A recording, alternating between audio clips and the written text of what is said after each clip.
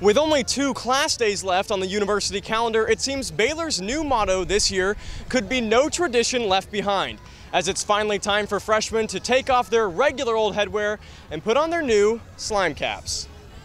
Traditionally given out during line camp, slime caps have been a staple at Baylor University since the turn of the century. Due to the coronavirus, line camp took place virtually for the class of 2024, and slime caps were never distributed until Tuesday evening on Fountain Mall.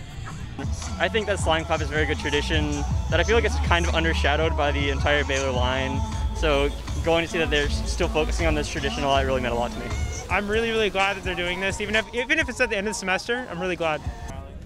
Slime caps, t-shirts, and vouchers for various food trucks were given out at the event, offering students a way to take a break and enjoy the university in their last few days. It's really cool that they can do this now because I was really upset when we didn't get the traditional line camp experience and this is a big part of that.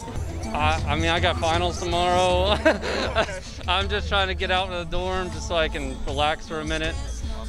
Baylor was able to wrap up the year with one final massive celebration, and many students said they had been satisfied with Baylor's commitment to its traditions through the pandemic, with this event being no exception.